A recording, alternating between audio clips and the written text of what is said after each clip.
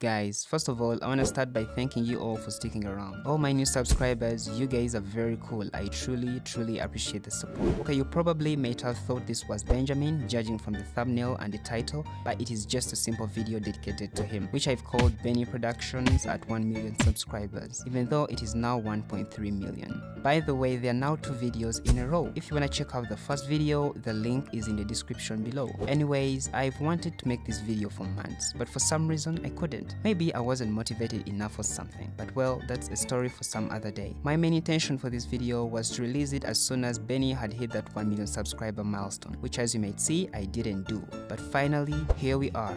It is a little bit late for this, but I did it anyways. Let's face it, you guys seem to like the first one, how about you try out the second one? So, to get the ball rolling, I started off by searching for stock photos from this massive library which is the internet.